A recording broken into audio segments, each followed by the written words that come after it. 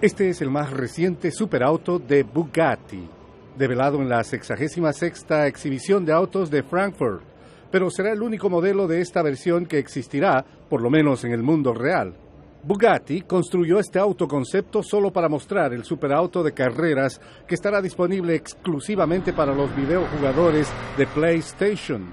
Se llama Visión Gran Turismo y dará la oportunidad a cualquiera de poseer su propio Bugatti, aunque sea un modelo virtual. El equipo de creadores del juego Gran Turismo quería crear un auto tan cerca de la realidad como fuera posible.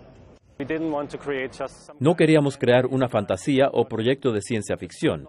Queríamos que el Bugatti fuera un enfoque técnico y elaborado, basado en nuestros valores de ingeniería e investigaciones aerodinámicas. En los elementos funcionales queríamos interpretar los elementos de diseño que dirigen el concepto de que la forma sigue al rendimiento. Este concepto de Bugatti sugiere lo que está en el tintero para su próximo superauto. Este auto proyecta el futuro estilístico, la visión de lo que viene. Ilustra el nuevo lenguaje de Bugatti con elementos de su ADN.